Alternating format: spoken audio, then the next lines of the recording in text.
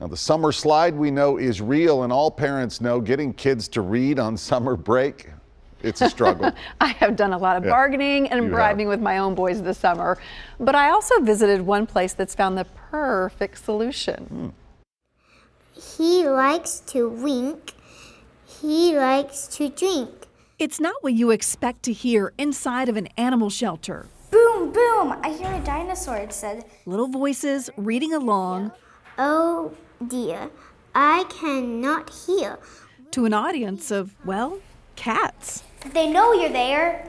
They just don't exactly want anything to do with you sometimes. The Book Buddies program at the Williamson County Animal Center invites kids and cats to get cozy, I kind of just tried to sound interesting. crack a book, There are lots of people too. and see what happens. Mm, maybe. I can't speak cat.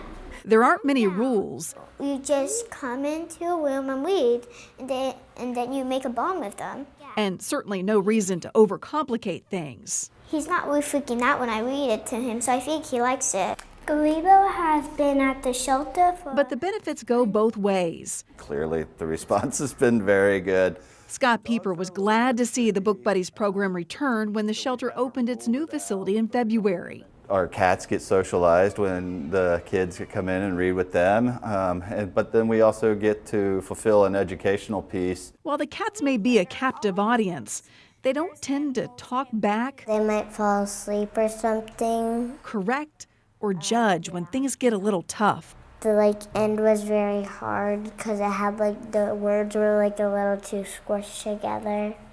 It was a miracle. And even for the pros like 11 year old Isabella Martin, How interesting, said Kat. this clearly does not feel like schoolwork. It just makes my day. I love getting to see them, and then I just get this like really, it's almost like I had coffee, and I'm like, yay!